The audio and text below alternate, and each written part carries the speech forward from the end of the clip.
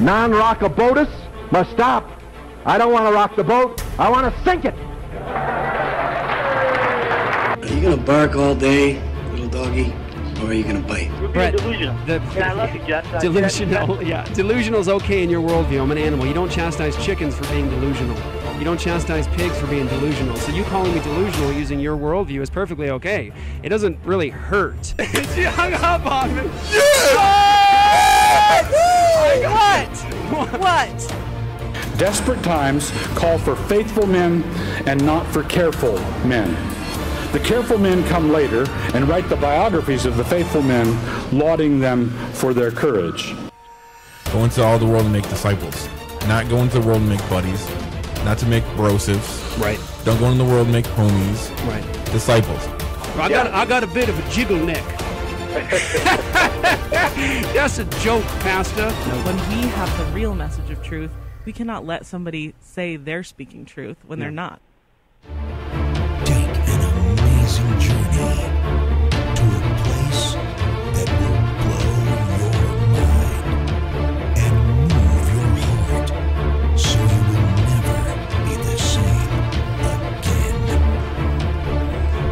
But in fact, Christ has been raised from the dead.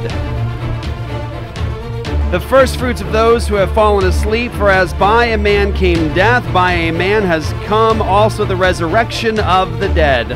For as in Adam all die, so also in Christ shall all be made alive, but each in his own order Christ the first fruits, then at his coming those who belong to Christ. Then comes the end when he delivers the kingdom to God the Father after destroying every rule and every authority and power, for he must reign until he has put all his enemies under his feet. The last enemy to be destroyed is death. What's up, y'all? Welcome back to another episode of Apologia Radio. I am Jeff. They call me the Ninja. That's Luke the Bear right there. What up? This is the gospel heard around the world. You guys can all go to apologiastudios.com, A P O L O G I A studios.com to get more. We have a lot of stuff at apologiastudios.com. Encourage you guys to go there. There are, at this point, hundreds of radio shows. Uh, back when we were on the radio, terrestrial radio, and uh, there's podcasts going back, I don't even know how many years, almost near a decade now. Uh, going back, talking to some of the world's uh, finest theologians, scholars, scientists, engaging in cultural issues, talking about important stuff. I think it'll really bless you. If you haven't got a chance to go back, go back and listen to some of those episodes. A lot of them are very fun too. And so go check it out and uh, go to apologiastudios.com. And when you do sign up for all access, when you sign up for all access, you get access to the additional content for all of our ministry partners. So we have Apologia TV, we have Apologia After Shows, we have Apologia Academy with new stuff being added all the time. You want to learn about the Trinity? Go to Apologia Academy. You want to learn about apologetics? Apologia Academy. You want to learn about Christian culture and Christ? Apologia Academy. You want to learn about um, education? Apologia Academy. You want to learn about mathematics and Christianity? Apologia Academy. You want to learn about the doctrines of grace? Apologia Academy. Go there, and when you guys sign up for Apologia Academy, uh, sorry, Apologia All Access, you partner with us in this ministry. So if you have been blessed by anything, I say this a lot, if you've been blessed by anything coming out of Apologia Studios, whether it's the teaching ministry, whether it's the on the street evangelism and apologetics, the lectures, what uh, the end abortion now stuff, even. Um, if you've been blessed by that, Apologia Academy Studios, uh, sorry, the uh, Apologia All Access is what makes that possible. So you are a part of that with us, and if you've seen any of the stuff, somebody else blessed you by partnering with us to make it happen. So go sign up today. And let's get right into it today. Um, do you have anything you want to start with? I Just wonder if you're having lunch on the show today. Oh, you see that? Yeah.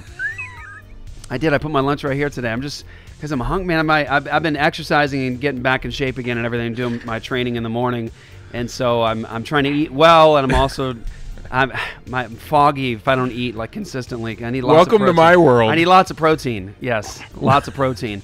So uh, welcome everybody. Hey, welcome. This is the quarantine special. Everybody, how you guys doing with the lockdown? Is that spelled C O R N T E E N? hey, look at this. Quarantine. The name this tonic water here is uh, called Q. oh, Ooh, I it's an that- omen. You think that's uh that's uh that's saying something? There's some special message. There's It's COVID Q. in it. yeah, COVID. It's COVID water. Um, so, uh, yeah, welcome everybody from the uh, the quarantine special. Uh, we are going to do something actually very important today. If you saw the uh, title of the show and you're like, I don't know what any of that means. I don't know why it's important. I don't know if I invest an hour of my life into this. Trust me, you do. Um, I think you're going to learn things in this show that might startle you theologically, and that's always a good thing to be startled in terms of realizing traditions that you've adopted or we've adopted that are not in accordance with Scripture. Um, I am going to challenge you to watch this show and see if you can find any, any of your Gnosticism. And you're like, wait, what? Gnosticism? Who were they? Well, the Gnostics were like the arch enemies of the church and uh, remain so in many ways. And uh, you do see the Apostle Paul and the Apostle John dealing with early forms of Gnosticism in the New Testament itself. They are the enemies of the church. And unfortunately, very, very unfortunately, Gnosticism has found its way into the minds and hearts of mm-hmm. many Christians over church history. And I would say much of evangelicalism in the West has adopted very a very Gnostic perspective of the world and the future, and particularly heaven and earth and those sorts of things. And so I think the va- I think many many of you watching today may actually discover that what you've believed about the future, what you've believed about the world and heaven one day, and those sorts of things, are actually Gnosticism. And uh, if you don't believe me, stick with us, stay with us. Please listen, be humble, uh, because we need to shed this nonsense quickly. The, the quicker we shed it, the more effective we'll be, I believe. And so, what we have done today is pulled together one of our good friends. You know him, you love him, so do we. Uh, Dr. Andrew Sandlin. I was talking to Candy the other day she knew we had Andrew on, and I said, uh, "Yeah, so yeah, we had, we had Dr. Sandlin on." And she goes, "Man, I love that man." I was like, "Me too." My wife always says the same I, thing. she's like, "I love him so much," and I was like, "Me too." She's like, "He's such a humble and sweet Yep. man," and I was like, "Yeah," and he's a beast when it comes Yeah. to theology. Yeah. So, so he's got it all together. So, yeah, it's funny. We love him for different reasons. Mm. Like you and I love him because of his size of his brain, yes, and our wives love him because he's sweet. he's a super sweet man. Yeah. he's like a big teddy bear. Stellar, Stellar feels the same. He's like, "Is is Andrew going to be at that thing? Is he? He's so nice. He's such a sweet man." Uh, so uh, yeah. Anyway, and Dr. Andrew Sandlin's a good friend of ours. We love him very, very much. Appreciate his ministry. If you don't know him, get to know Dr. Sandlin. We'll make sure you guys have re- uh, resources after this. But anyway, uh, Luke the other day on the Elder thread, we have a private Elder, elder thread where we all. Uh, rap with each other, and uh, Luke sent Not Doc- literally. uh, it, uh, yeah, that's right. Not literally. It'd be cool to see Dr. White do some rapping. Um, but Dr. White's been doing a lot lately on Gnosticism, so that's sort of kind of helped with this show's creation. Uh, Luke sent a link to Dr. Sandlin's talk on Gnosticism there, and uh, I listened to it twice Saturday night just because it was just so encouraging and just a wonderful, wonderful message. I'll make sure that in the in the in this show later we'll put a link to that message so you guys get a chance to listen to that. Please do, please, please listen to that message. And I got to say this: I was contemplating this. You sent the link. I was studying, so I listened to it and I listened to it again, and I thought to myself, I got to find a way to advertise this and tell people like, um, hey. Gird up your loins and and you know what I'm saying? Like people go oh this seems like a deep thick like sort of like out there theological thing. Get through the first 20 minutes. Uh, not that it's not good, but if it seems like "Oh, I don't get it, like why is this important? Get through the first twenty minutes, like you know, gird gird up your gird up your loins. You said that like you're from New York or something. Hey, Hey, hey, gird up your loins there, kid. Look, you gotta get, you gotta get with it. Look, I, I don't want any laziness, the idleness. Look, look here. Um, uh, uh, look here, Tony Lazy Buns. like, uh, Tony two times. Uh, let, get through the first 20 minutes because some of the stuff may be unfamiliar. So it's like a different language Yeah. in terms of like they have its definitions, those sorts of things. Get through it. Get through it because you need this. You need it desperately. Well, it's funny. I uh, the reason that this conversation came up, and Andrew, I haven't even had this conversation with you, is We haven't we haven't brought him in yet, by the way. Oh. Hey, Andrew, welcome Hi, to the Andrew. show. I, I was just relishing all the love I've been getting in that wonderful introduction. Thank you. Love you guys too, and uh, you guys are truly remarkable. It's a privilege to be your friend and to labor with you. So go ahead, Luke. Whatever same. you were going to say. All right. You've been. It's just, just you're part of the family, so I didn't Yeah. even think about it. Um, you've been on here so much recently too. It's just you're just part of the gang. But Which is uh, grand. Sort, of, Um, sort of the ugly step uncle. um, so uh, James White, Doctor White, Pastor James, uh, he has been. I don't know if you've been following him lately, but he's been doing a lot on Gnosticism and Yeah, I've seen some of Manichaeism, it. Yep. and he's like delved deep into that tunnel, and so he's every day he's like, you know, finding new information, and he's all excited about that. And I so I said, hey, we got to get you and Andrew together to film something on Gnosticism Oh, that'd be cool. Yeah. um, because I know I've heard you, especially I would say a lot in the last year and a half to two years. I've heard you and Joe talk a lot about Gnosticism and how it's affecting modern theology and stuff. So, anyways, that's how that conversation came together Mm-hmm. to begin with. Is I was like, hey, listen to this. We got to have you guys get Do together. something- so do something I'm together. proposing that to you. we would now. definitely encourage that. I think it'd be very beneficial. Um, Sounds great to me. Yes, so we'll make sure to try to make that happen. So, um, before we get into it, because it is quarantine, uh, Andrew has been uh, uh, putting up a lot of links and helpful commentary over the last month in terms of quarantine and uh, righteousness, justice, love for neighbor uh, related things. And so I just thought I'd do it because I mean everyone's in quarantine. Good to sort of have a you know current event update uh, for the future. So let me. Did I did I seriously lose it? Did I lose it Mentally? Uh, I think I did. Why did it? Oh no, here it is. Okay, good. All right, good. Sorry about that. I don't even know why that just did that to me. but blame um, COVID. yeah, blame COVID. All right, so um, some of you guys may have heard that uh, Rand Paul, Dr. Rand Paul, uh, Rand Paul. I didn't know he was a doctor. By yeah, the way, I yeah. saw that. Yeah, he's Ron Paul's Ron Paul's son. Uh, Rand Paul uh, recently spoke on the Senate floor after he recovered from coronavirus. So Rand Paul. Um, is a senator who had coronavirus and he's recovered now. Looks good too. He's got a beard, he got a beard going on. I bet he And looks I have said, I just said to Dr. Sandlin before the show started here, guys, if I see one politician with a fresh Yeah. haircut, I'm I'm throwing something. Yep. It's it, I, I I cannot get a haircut right now. Carmen looks like a wildebeest. He's. I called him Wolfman Jack the other day. Yeah, yeah, and he's, like, I need a haircut. that?" I'm like, the hard part too is once that it opens up for haircuts, getting in line for a haircut is going to be really hard because everyone needs a haircut. Yeah. If I see one politician with a haircut, I'm throwing something. One, one of you guys who shut everything down. If you get a fresh haircut, I'm not. I'm not happy. At least a good haircut, because it's possible that they, you know, if they have like a hack job going on, that's like a bowl cut. Yeah. They just put like a Tupperware bowl into a bowl cut, then Yeah. that's what I expect. That's what I want to see. That's what I want to see.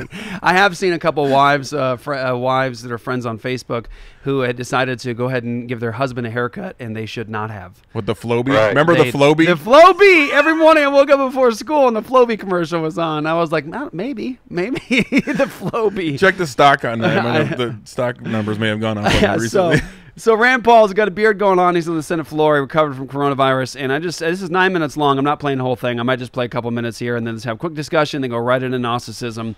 Um, and uh, let's go ahead and play this right now. Rand Paul, Senate floor, dropping a quote nuke from the Senate floor. That's what the title of the video is. No amount of money, not all the money in China, will save us from ourselves. Our only hope of rescuing this great country is to reopen the economy. If you print up billions of dollars and give it to people, they are unlikely to spend it until you end the quarantine. The good news, though, is that the scientific community finally has facts instead of conjecture. The models that used 3.4% mortality were fortunately very wrong. Random samples now of thousands of people have now been tested for antibodies or immunity to coronavirus. Two large randomized studies in California show similar results. The number of people who have already developed antibodies to the coronavirus is 25 to 50 times higher than the number that is being reported as infected. This is great news. This study means that the mortality rate may well be 25 to 50 times less deadly than previously thought. The virus is still dangerous, and we shouldn't ignore the risks, but we should put those risks in perspective. These randomized tests indicate that instead of a 3.4% mortality, that the rate could be as much as only a tenth of a percent or two tenths of one percent. We now have solid scientific evidence from randomized studies that we can manage this disease without continuing the draconian lockdown of the economy. The So I thought I'd play that because it's it, I- you're hearing from somebody who is a politician, but also he had the virus, and um, he thinks we should open the economy back up uh, because we're destroying the world, and uh, I think he is right. And I think he has something to say there when he talks about the fact that we now know about the virus more than we knew initially, obviously. And uh, the mortality rate is, is going to be much, much lower than we had initially thought. And here's the point uh, we don't close down the world economy and plunge people into the Great Depression and poverty uh, for these kinds of communicable diseases that we deal with every year. People die. It's a fallen world. We need to hold to Christian presuppositions. This is a fallen world. People die. So we have to figure out how do we work in light of a fallen world with biblical principles and wisdom when you face a communicable disease and a pandemic like this. Is this the Black Plague, the Black Death? No. Is this something where we need to destroy the entire world um, and uh, quarantine preemptively all of the healthy? No. And uh, look, you can't argue with the numbers. Can't argue with the numbers coming out of a mouth of a person who had coronavirus and is now recovered. I think that says something. So, Dr. Sandlin, just like to get some uh, opening comments from you. I know you've been talking a lot about this lately on your pages and platforms, so go for it. Yeah, I agree with that. A great statement. I'd heard parts of it from Rand Paul. Uh, I won't uh, mention as much the uh, health issues, but what's really clear is how that uh, when almost any crisis or alleged crisis comes up like this, the default in most people's minds, certainly uh, the elite, is statism. Immediately, the answer is, "What can the government do?" Now, a Christian response committed to Christians committed to sphere sovereignty, that is, that there are various spheres, the family, church, and state, is to say what should each institution do? What should families do to address this? What should businesses be doing to address this? What should the church be doing to address this? But no, because we've bought into statism, that is, uh, the great god of Western civilization is the state, whenever there is a crisis, a real one or a perceived one, the first question is the government immediately has to get involved. Well, tragically, we have seen now what has happened.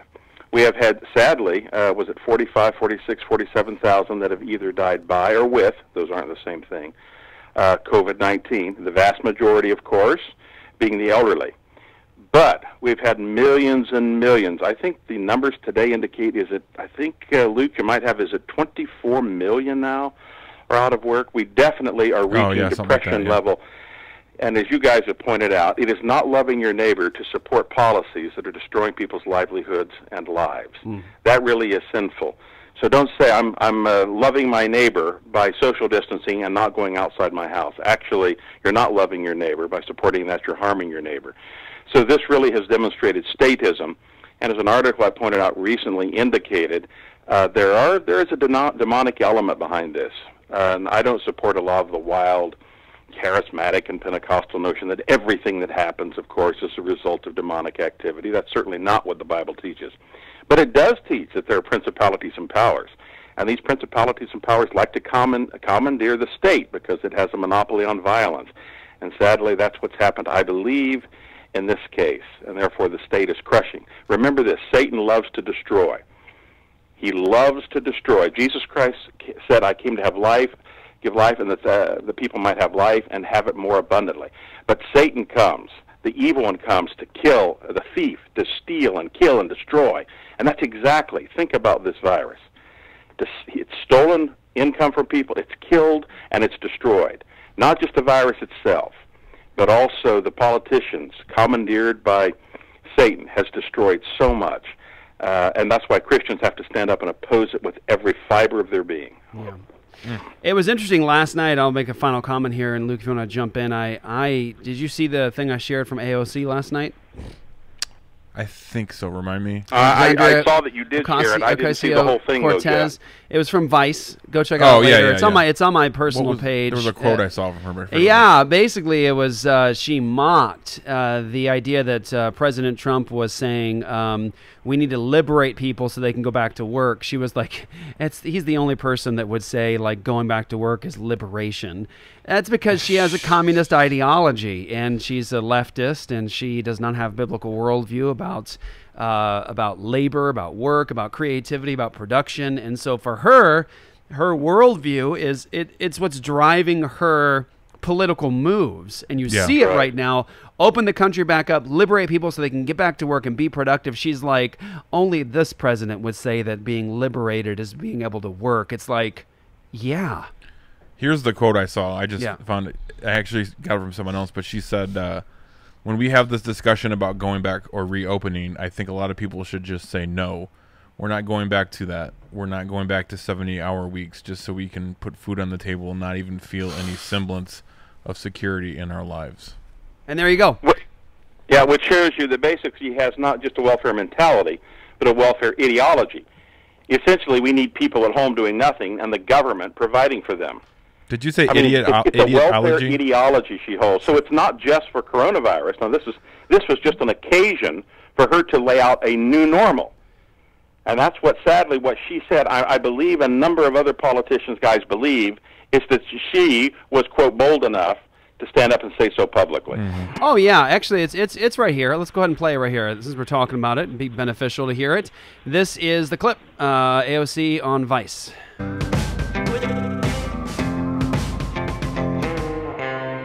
There's a lot that we could be doing right now, but ultimately, the I think when we talk about this idea of reopening society, you know, only in America does the president, when the president tweets about liberation, does he mean go back to work? When we, you know, have this discussion about going going back or reopening, I think a lot of people should just say no. We're not going back to that. We're not going back to mm. working 70 hour weeks just so that we could put food on the table and not even feel mm. any sort of semblance of security in our lives. Give me hmm. a break. I can't. Now, the guys, the irony of that is she would not like to live in a world in which people actually lived like that. No Right. kidding. She has all of the benefits of a world in which people are liberated to work as long as they want, within reason. So she she gets fruit from that. She has her nice uh, her nice iPhone or her smartphone and all of her nice clothes. Well, she has those because people work hard. So basically, it's a hypocritical ideology. Yes.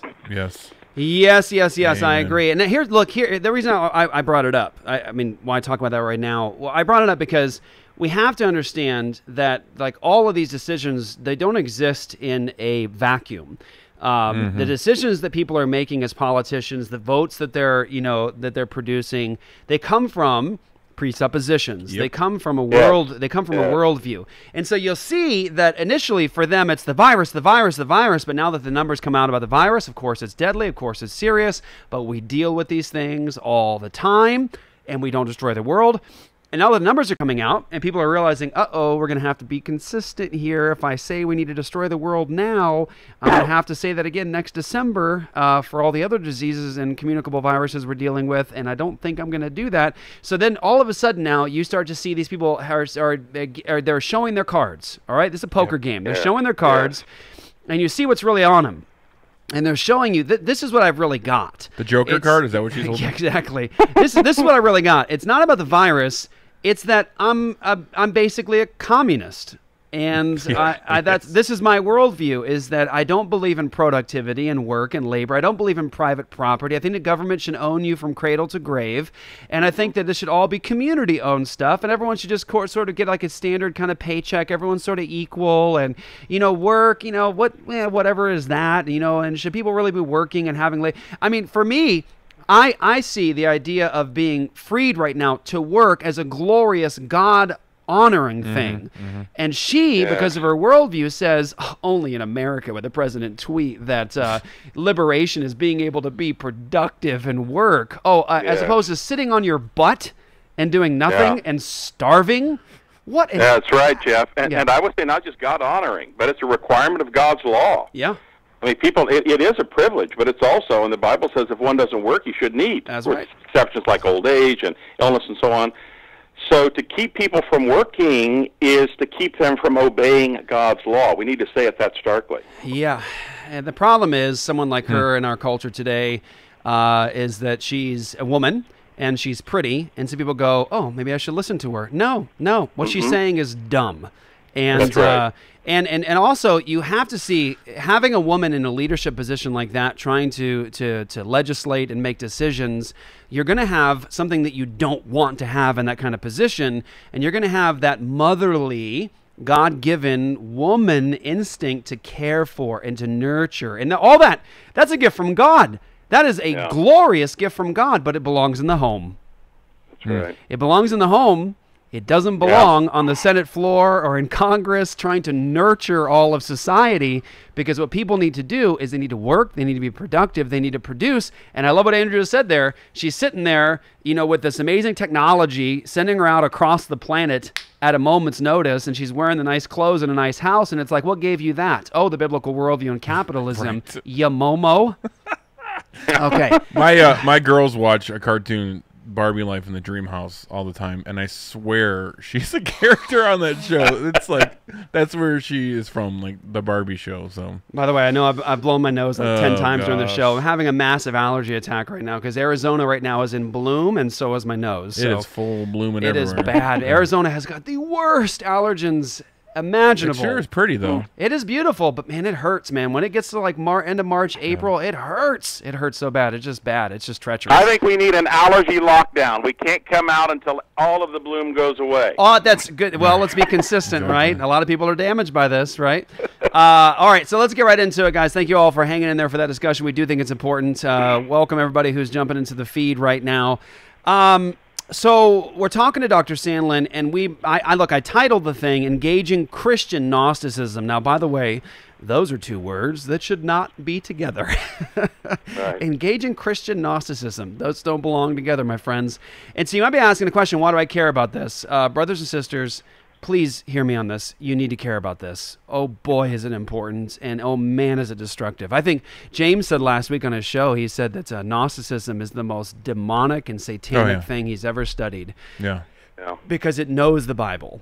Yes. And it purposefully tries to distort it. Yes. And you need to understand. Um, I, I- look, I, I'll be willing to wager something right now. I'm not a gambling man, but let's just play a game for a second. I'm, I'm willing to bet right now that probably the vast majority of people watching right now in our feed, right now live, you've got some Gnosticism in you. You do. Uh, you, it's there. And I, I hope not. I really, I'm, I'm rooting for you, but I, I hope not. But you need to hear it. So we're going to talk about that. Um, are we Christian Gnostics? Is that how we're approaching the world and life and the future? And so, Dr. Sandlin, I'm going to hand it over to you, brother. We need to know what is Gnosticism and why should I care? Ah, good question. So Gnosticism is the uh, oldest and most dangerous and most persistent heresy in the church. Uh, you even, I think you mentioned this earlier, Jeff. You even see it in some of John's statements, the beginnings of it, in some of John's statements. Gnosticism is basically the idea that the creation, the physical world, is evil. And if we're going to say Christian Gnosticism, you're right, they shouldn't be put together, but sadly, in many people's minds, they are is that Jesus Christ came to deliver us from the physical world. Uh, Gnosticism is a profound heresy, and I'll mention just quickly uh, there are different views of Gnostic origins, but it's basically that a lower God called the demiurge, not the true God, who's really sort of an impersonal principle, not the true God of the Bible. This lower God was deceived and created the physical world, which was inherently evil, and that somehow another and slightly higher god, it was a female god in many of the tellings, put little souls, dropped little sort of non material souls in uh, some humans, and the goal is for those souls to escape from the body. The idea basically is uh, that the human body in this part is like a, a shell, and the real fruit, the nut, we might say, is on the inside. And like Plato of old, the uh, real idea of life, like Socrates would have said, the goal of life is to die.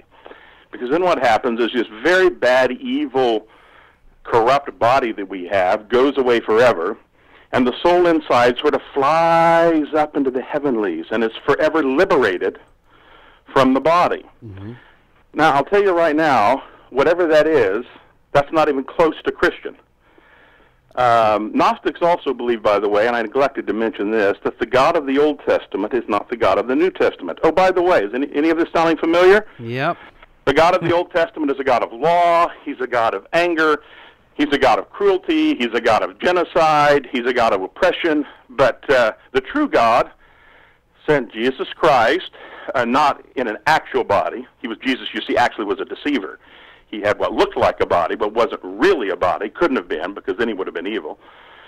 But Jesus' goal was basically to send, uh, to to convey a, a special form of secret knowledge. That's where we get the word Gnostic, sort of a secret knowledge to a few people to understand that the material world is evil, and by changing their minds and giving them the secret handshake, as it were, the secret knowledge, they can eventually get rid of the body and can fly up into the heavenlies, and everything else will go off into oblivion.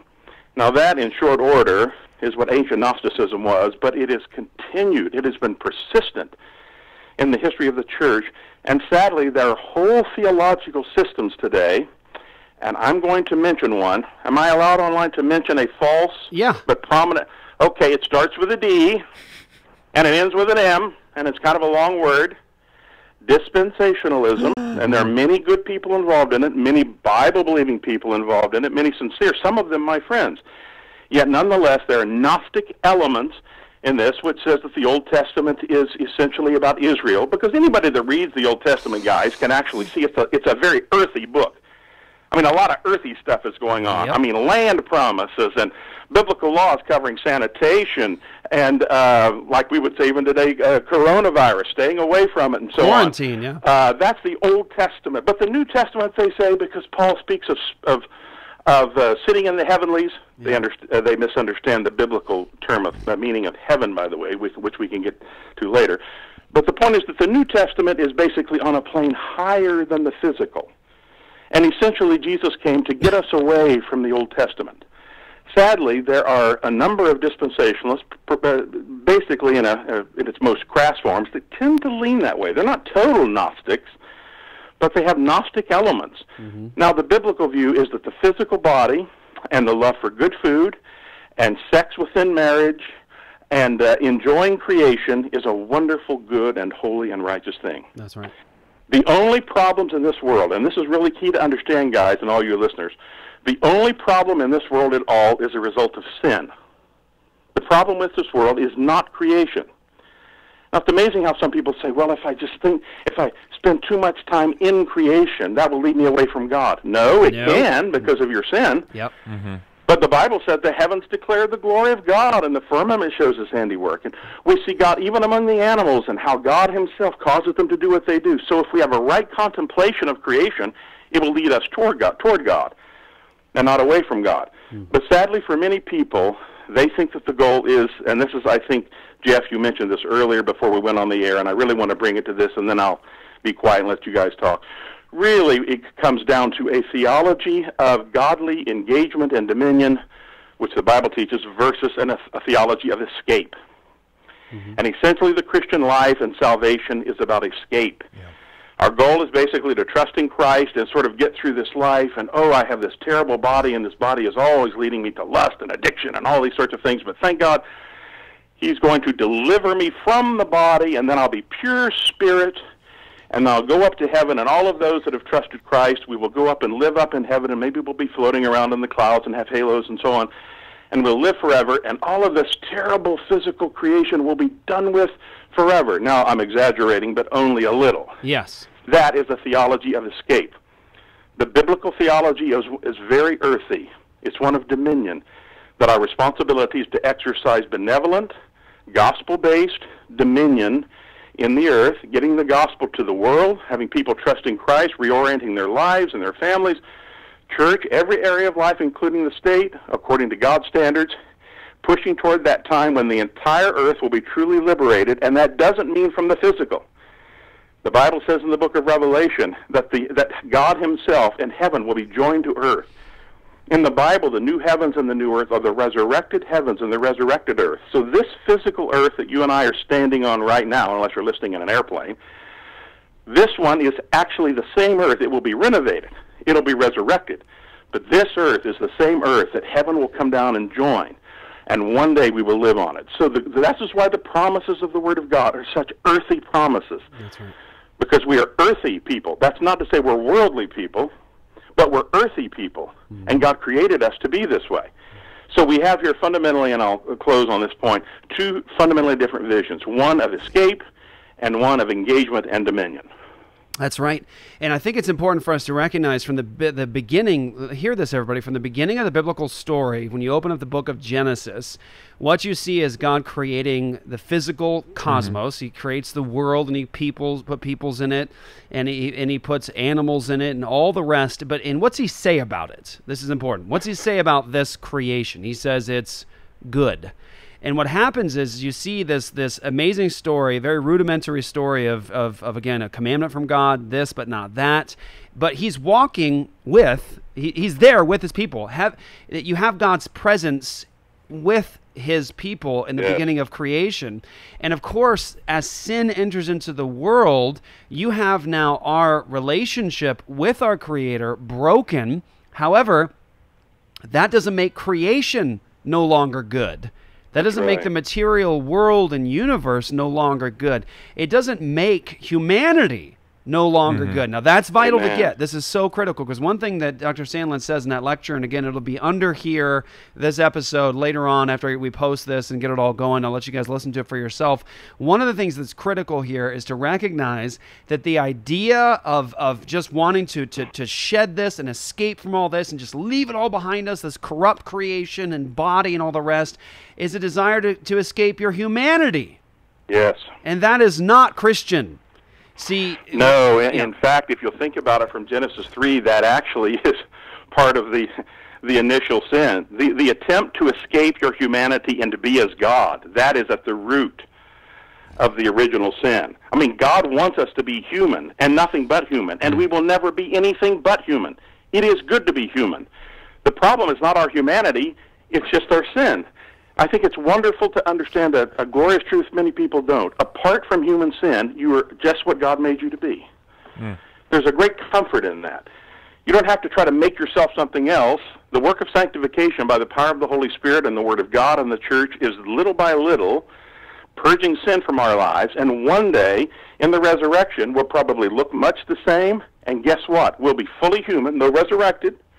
We will be fully human, just as human as we are now, though with you know greater properties and so on. But to be human is to be what God made us to be. So we should glory in our humanity because it's what God wants for us. It's His will. Mm-hmm. Very much so. And I think it's important for us to recognize that the biblical narrative has a perspective about heaven and earth and the kingdom of God on earth and our involvement in the world that is vastly different from what many Christians believe today. We think about the heaven and earth like Gnostics. We think about this as corrupted and evil and fallen, and really God really is done with it. He wants nothing to do with it. And so the better thing to do is to get out of this body, escape our humanity, escape this corrupt creation, to get away to this place that's a million miles away called heaven. Whereas that is not. That is not what the Bible teaches about heaven and earth. Heaven is, uh, as one theologian calls it, God's space, uh, and earth is our space. And in Scripture, those things, this is critical, get this, and you'll see what I'm saying in terms of shaking the Gnosticism loose. In a biblical worldview, uh, earth and heaven, they are organically together, comprehensively together in many ways. And if you want to see just how concerned God is with physical creation, the material world, our physical bodies, um, I want to point you to the climax of the biblical narrative, and that's the life, ministry, death, and resurrection of Jesus Christ. How concerned is God with the physical world and renewal and all the rest? Oh, I don't know. He just stepped into it and took on physical form and then died and then conquered physical death and rose again in a physical body. I do think it's a beautiful scene when Jesus is alive from the dead and Thomas is doubting Thomas. Jesus says, Handle me and see. A spirit does not have flesh and bone as you see me have. It's physical body. And, and this is critical to the story. If our resurrection will be like Christ's resurrection, like if that resurrection of Jesus in the garden is testimony to what God is going to do in us, then we have to recognize hey, guess what, guys? You're going to spend eternity with Jesus Christ and other saints and believers with the triune God on this physical earth, in this cosmos, renewed, of course. But this is where we get, I think, things wrong. And that is that I believe that the mission of Jesus with the kingdom of God on earth is, of course, to bring a restoration of all things. Romans Yes. 8, that spectacular passage in Romans 8 that talks about the creation itself groaning. It's groaning. Why? It's waiting for that liberation, right? Uh, that all that decay. It's listen. This world is not a throwaway. Jesus says, "I'm making all things new." He's not making all new things. That's right. He's making all things new. Jesus is look, and I, I've said this a lot. Luke probably is tired of me saying this because I've said I always try to like drop it in somewhere. I do think it's important for us to pay attention in the Gospel of John. It's so so important. How, what? Listen. How does John start off? He, it sounds like Genesis. In the mm-hmm. beginning was right. the Word, and the Word is with God. The Word was God. And it says, and God became flesh. The Word became flesh and tabernacled among us. And then it goes through, of course, the life of Jesus. John is my favorite gospel of all the gospels. It's probably my favorite book in all the Bible. But John, note, he actually says something. He's Jewish. He knows the story. He knows the whole biblical narrative of where we're going. Also, it was John that was fighting the early Gnosticism. You need to know that as well. Uh, John happens to mention that after Jesus rose again, that when they came to the tomb and see that Jesus is gone, they're like freaking out, of course, and that Jesus is there, and it says that they had mistaken him for the gardener. And it's one of those things you just sort of just pass over. Like, well, oh, well, he just thought it was the gardener. Uh, why would you ever Right. assume somebody's a gardener? Like, I've got people that come to my house all the time. I've got Amazon Prime people that come to my house all the time. I've got people doing all kinds of deliveries to my house because that's easiest way to get things done right now. I've got pizza being delivered to my house. And when a pizza guy comes to my house, he's carrying a pizza box and, you know, he pulls up with the Domino's pizza thing on his car. And that's why I mistake him for a pizza guy because he looks like a delivery boy for pizza. I can tell he's got all the marks of a pizza boy. Now, I know the difference between the Domino's pizza delivery guy in my garden and the guy who comes over once a month to start pruning things and taking weeds away and all the rest in my yard, which actually happens. I can tell the difference. And if, if Candy says, "Hey, who's in the back right now?" I'm going to say, well, it's the it's the garden guy. It's the it's the weed guy. It's it's that sounds funny in South Phoenix. It's my weed guy. Well, yeah. Uh, yeah. Not far so- off in your not, yeah, not far off um, in, in Phoenix. But anyway, so here's the thing: why would you mistake a guy like that for gardening? Because he's he's working the ground. That's what he's doing. So when John says the women mistake Jesus for a gardener, isn't it amazing? Isn't it amazing that the second Adam, the the what Adam was supposed to be, who now conquers death in a garden, which is where death entered the world. Jesus conquers death in a garden. The first thing the second Adam, the perfect image of God, starts doing is he starts working the ground. Mm. I think that is glorious and amazing, and it is the death blow. The death blow to any form of Christian Gnosticism that teaches like this is all a, you know God wants nothing to do with this. He- he- he's he's he's ready to throw all this away. Now, Jesus' physical entrance into the world with his physical resurrection and what he's doing with the kingdom of God in the world, winning the world, is testimony to the fact that God is very concerned with the material world, the material mm-hmm. universe, our material bodies. And I got to say this, remember this. The the whole the climax portion of the story for us in terms of the future is really what I read at the beginning of 1 Corinthians 15. Listen, of course if we die now, we go to be with God for all eternity. To be absent from the body is to be present with the Lord, to live as Christ, to die as gain. Yes, yes, yes to all those things. Check the theological boxes. If you trust in Jesus Christ, you're reconciled to God, you have eternal life, you're going to be with God. However, the biblical narrative doesn't say that that's the ultimate. It actually right. says that the arc of the story, where it gets really good, is where Jesus wins the world, puts every enemy under his feet, and then he finally defeats death, delivers the kingdom over to the Father, like, look, Father, see, it's finished, it's all done. But that arc, that beautiful story, peaks at the point where actually you're raised from the dead, like Jesus. And we spend eternity with God and one another on this earth here. Jeff, that's so true. I think many Christian funerals, particularly in the 20th century, fail. I've heard so many of them there, and the minister says, Oh, we're glad so and so died. He or she was in so much pain. And now the great hope is that they have died, they've left their body, and they've gone to heaven. And that is their great eternal hope. Well, that sounds good, and as far as it goes, it's not entirely wrong, but that's not their great hope. The great hope in the Bible is the restoration of all things in the resurrection, hmm. leading to the eternal state. That is the great hope that we'll be on earth and that God and Christ and the Spirit will d- dwell here with us on a resurrected, renovated earth, and the kingdom of God will have no longer any barriers, no longer any sin, but will forever rejoice in Him and cultivate the entire earth for His glory without sin. That is the hope. The message of the gospel and the promise of the gospel is not if you trust in Jesus, you will die. When you die, you'll go to heaven. That is not the hope of the gospel. The hope of the gospel, the good news, is that God in Christ is res- reversing all of the sin that was unleashed in Genesis 3. More Christians must understand that. They would have a much more robust and a bigger idea of what God is doing in the earth if they understood that, rather than this individualized idea that, well, I'm going to trust in Jesus so I can go to heaven when I die. That's not the hope of the gospel. Mm, mm.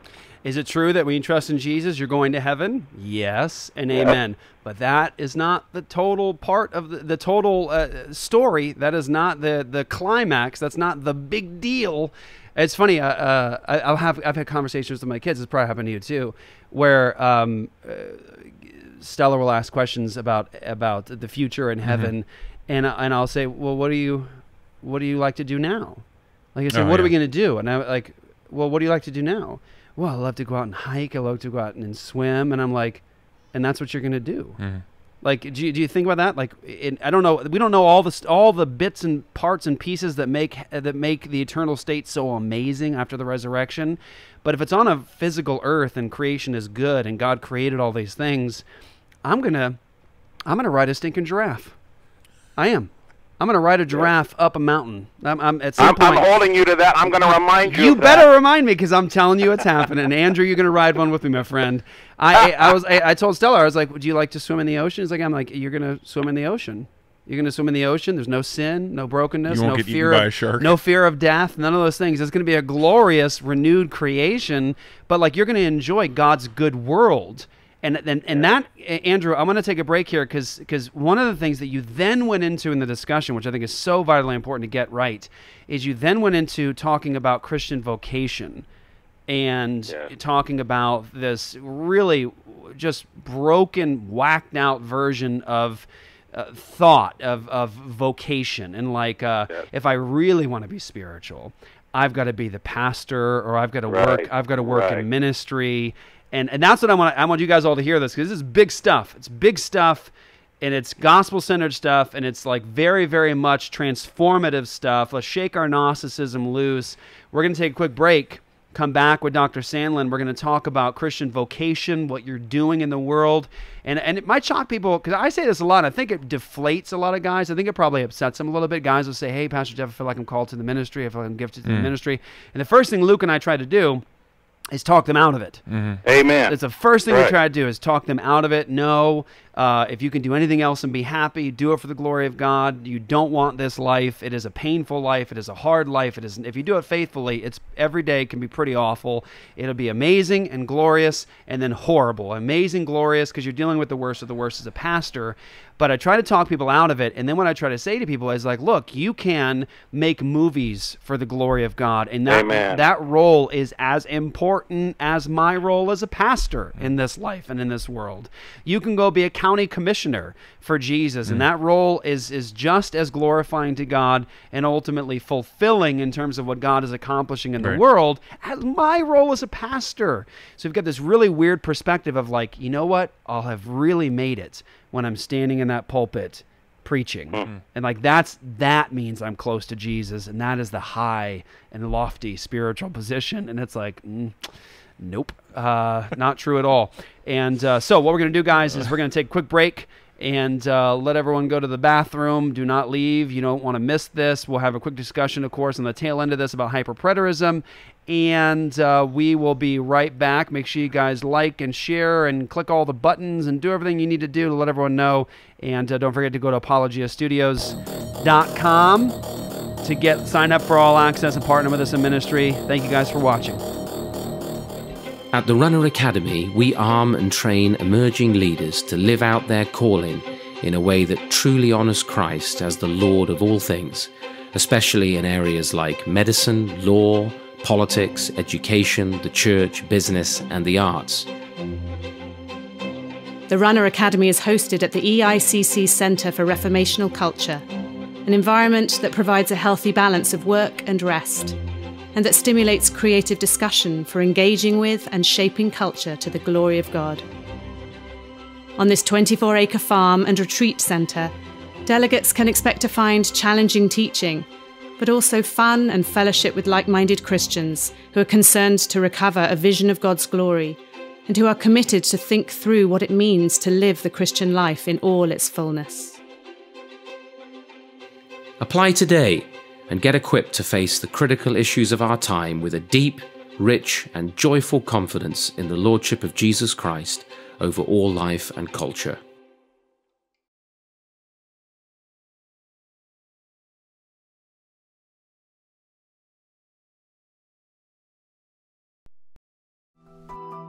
I want their faith to not just be something that stands, but something around which culture can be built. We want students who can um, think critically about arguments, but also about the culture around them, that can then speak clearly to it, and that also have the ability to influence and shape because of the power of their message. Because that's really what the gospel does. The gospel throws down all the arguments against it, it speaks to the hearts of people, it influences, and it changes.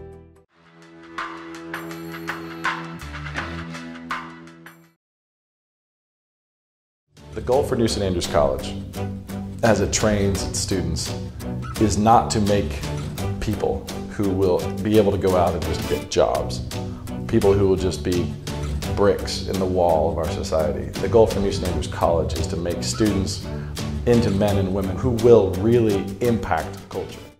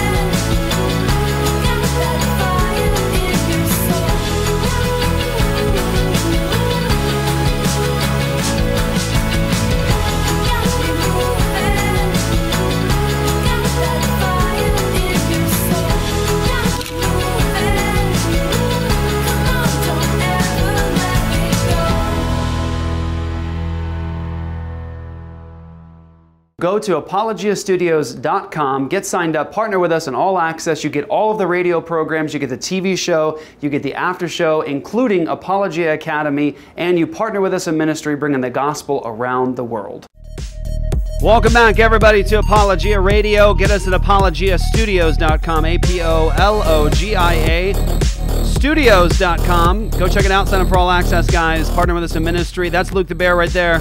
What up, what up? I'm Jeff the Coleman, the Ninja. We're on with Dr. Andrew Sandlin right now. We are talking about Christian Gnosticism, two words that are not supposed to go together, but unfortunately often do. And we need to shake that Gnosticism loose. We need to get it out of us, and we need to have a fully biblical worldview in terms of how we think about life, how we think about the material world, how we think about vocation, how we think about the future, how we think about heaven one day. And so we are having uh, Dr. Sandlin on to talk to us about Gnosticism. And again, if you are a homeschool mom and you're thinking like, I don't know how this is going to help me, uh, it will. It will in terms of how you raise your children to think about their life, their labor, their work, and what their life is all about. And really, what their hope for the future is. You know, all of us are going to have to face death. One of the things that's difficult about being a pastor is uh, doing funerals, and I hate them. Mm. I get really emotional as it is.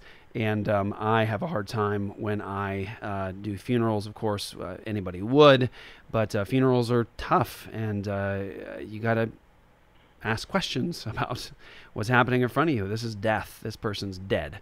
And uh, what's the hope? Is it that they're just spirits now and in heaven? Or is there something greater that the Bible talks about? Is there something bigger? Is there a, a bigger part of the story that's, that's to come? And uh, how should we be thinking comprehensively about the Christian worldview and what God promises us for hope? And uh, that's what we're doing with Dr. Andrew Sandlin, right now. Uh, Andrew, you had a part of your lecture where you talked about vocation and you talked about basketball for the glory of God, basketball as, as a form of worship.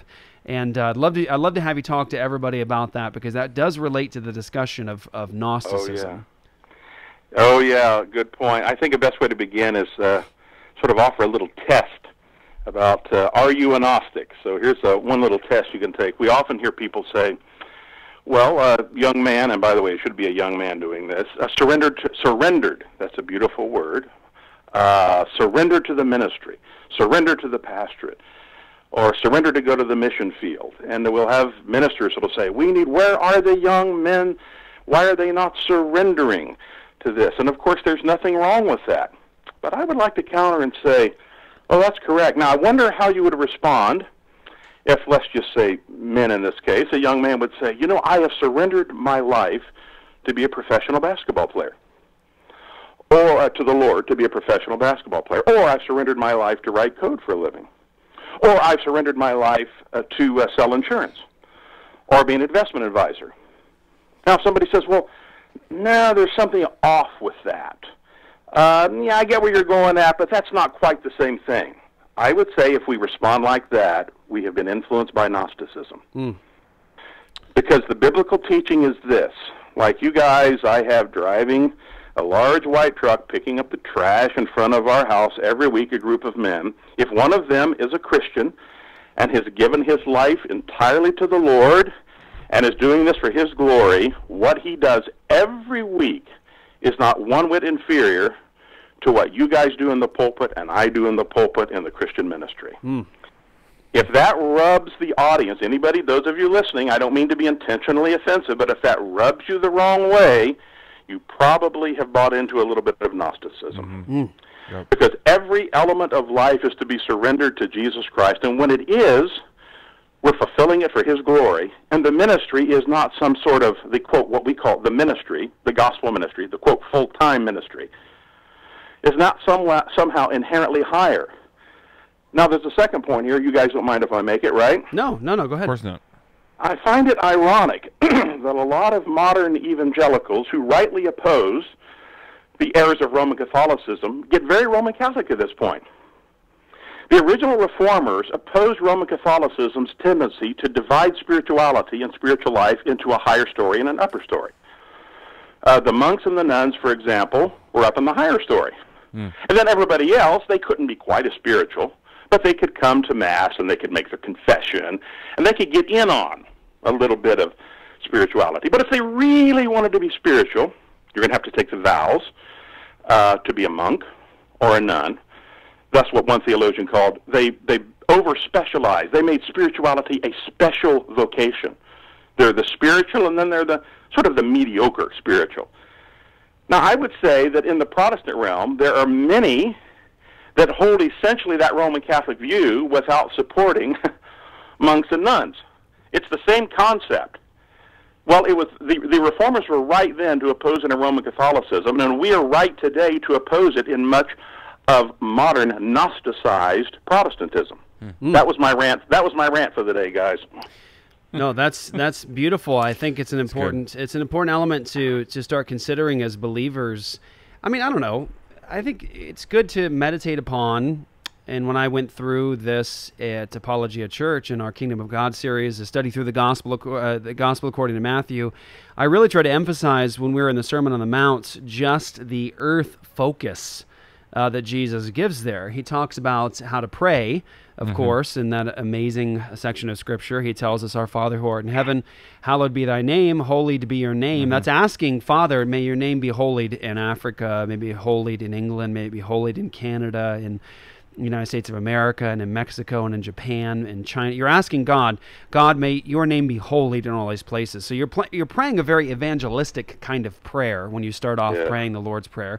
But then he says, our Father who art in heaven, hallowed be thy name. Thy kingdom come, thy will be done on earth as it is in heaven. I think many Christians, because of Christian Gnosticism, uh, can recite the prayer, but when they get to that section, the mind sort of just washes. It goes blank. Like, have I thought about what I'm asking for? Right? Because I'm thinking my Right, hope is right, right. escaping my humanity and getting out of this awful, corrupted, sinful world. Man, that sounds like Gnosticism. And escaping out into the spiritual out there and just putting all this corruption behind me. Yuck. Ew. Like, isn't God feeling the same way? Like, ew. No, God, as a man, said, pray like this that the will of the Father would be done here, Mm-hmm. here, on this Amen. physical world, like it is in heaven, God's space, right? Uh, so that's what you're supposed to be asking God for. That's like, uh, like if you say like, how how do I pray? I hope when anybody like asks a, pas- a pastor the question, Pastor, how do I pray?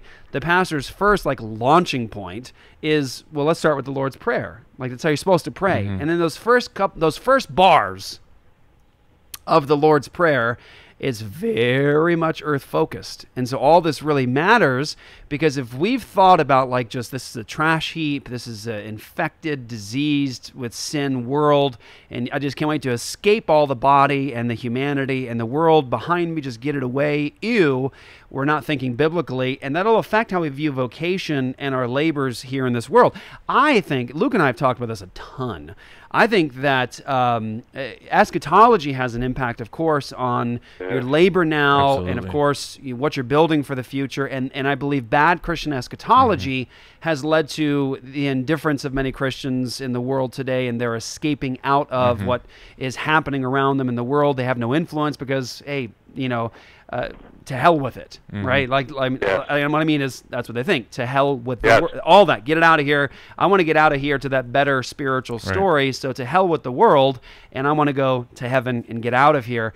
But also, I think Gnosticism, Gnostic tendencies, Gnostic worldview has impacted Christians t- to the degree that they also escape out of like vocations that matter and like laboring and working and engaging and being productive Yes. A- AOC um, in the world.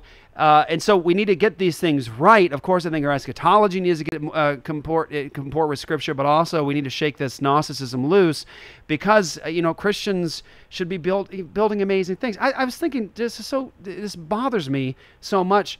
I was I've been listening to the news a lot lately, and this hit me fresh yesterday. Uh, again, I was like, oh man, that's such that's so so discouraging.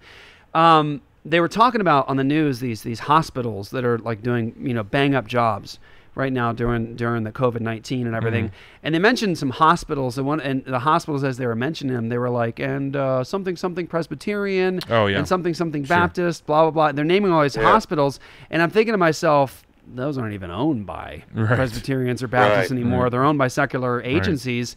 And we have handed over like the whole medicine hospital mm-hmm. thing to the secular world. And let's be honest, they suck at it. Um, uh, they took it from us. And, and here's the thing we gave it to them willingly because of our perspective of the world and the future, because we're like, you know, does this really matter? And I, I would actually challenge people to think about this. Uh, the Christians who were building like hospitals and like investing in the world and this life, they did have a different eschatology, many of them, Yes. and view of the future. And that's sort of what drove the building of the hospitals and everything else because they saw the kingdom of God as com- being, being a transformative force to all of the world in such a way that they were even going, you know, the sick, the destitute, the poor, these uh, these orphans, that's ours. That's ours. Yep. And Ah, now, boy, Jeff, you've touched on something vital. If people look around, and I find it ironic, so many Christians complain, all the, all of the evils of abortion and the evils of homosexuality and socialism. But many of these same people also embrace a theology of escape. Of escape. Yep. They don't understand that this Gnosticized notion that gets away from every vocation, every vocation being given to the Lord and doing everything for the glory of God, the withdrawal from that. You mentioned hospitals, and of course, you guys know the same thing was true of universities. Universities were begun by Christians. That's right. And Christians, we look at them, and I mean, all I mean, ninety-nine percent of them are in the hands of secularists and the pagans and apostates today. Why? Not because the secularists and the neo-pagans beat down the doors, but Christians willingly surrendered them Yeah. because of this Gnosticized theology of escape. So, really, to those of you listening, say, who are saying, what is this new doctrine that these guys on Apologia and Andrew are doing? It's we're not actually embracing a new doctrine. We're asking for the restoration of an older Right. doctrine historically, and more important, the oldest one of all in the scriptures, biblical doctrine. That's what we're embracing. It's anti-Gnostic to the core. Very good. And some comments that just came in Yeah. here. Um, I just saw somebody somebody said um, such a bad argument. Lots of non post millennial work towards good in the world. Uh, nobody suggested otherwise. That's right. It's, it's no, no, I yeah. agree with that, and Yeah. I, I think they tend to be inconsistent. Inconsistent. There you go. With their worldview. But I, that's great. I have I have wonderful amillennial friends, and I have great uh, uh, a premillennial friends, even dispensational friends. And the the good news, guys, is is almost all of them are inconsistent because somehow inherently they know intuitively. They know, well, I can't just sit back and do nothing.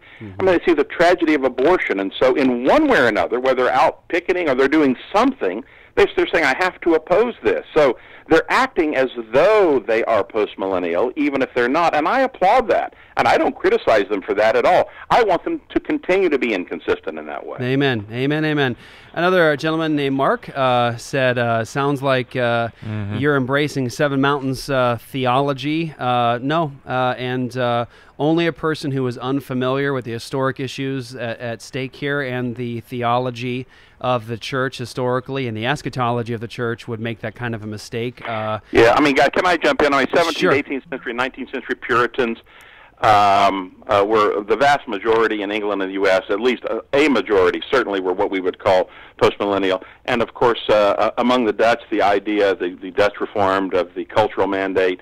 So that's just false. That idea of seven, and we, we can do a whole show, and maybe we should on that. But that's Yeah. just, um, I, I don't mean this to be a personal attack, but that's just historically uninformed to make that point. Very much. uh, That, that was my point. Historically uninformed, and uh, uh, just be cautious what you read as a quick excerpt on the internet uh, when you see something like that.